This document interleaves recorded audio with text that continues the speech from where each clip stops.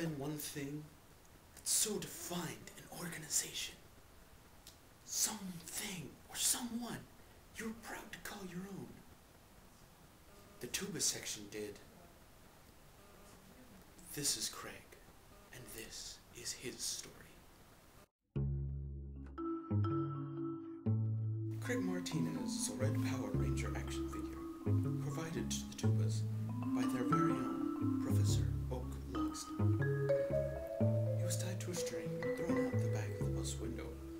so seemingly fly, a well-known act from the film Napoleon Dynamite.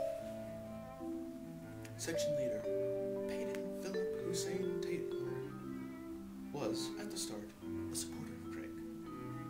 But all that was about to change. The day was October 11th, 2012, when we were on our way to a football game. When who should be following us but the cheerleaders?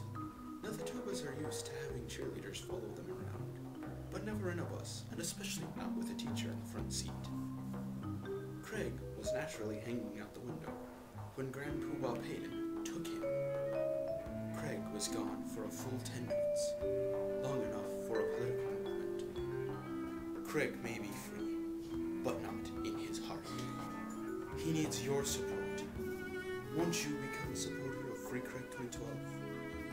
We work hard for our non-existent cause, and in the end, isn't that what politics is all about? I'm Matt, and I speak for the Tubas and the Craig.